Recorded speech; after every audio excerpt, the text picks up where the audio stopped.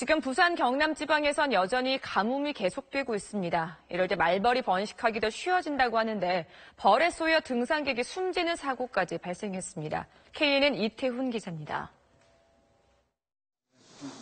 건물 3층 창문에 사람 머리만한 말벌집이 붙어 있습니다. 전신 보호복으로 중무장한 소방대원들이 퇴치 작업에 나섭니다. 불을 붙여 벌집을 떼어내자 말벌 수십여 마리가 쏟아져 나옵니다. 그 살충제로도 잘 안 죽고 항상 신, 신문지도 쫓아내야 되고 빗자루로 쫓아내야 되고 제 사장님 고생을 좀 많이 하셨죠. 지난 1월 20여 건에 불과하던 부산 경남의 벌집 제거 출동 건수가 지난달에 접어들면서 무려 6,900여 건으로 300배 이상 급증했습니다.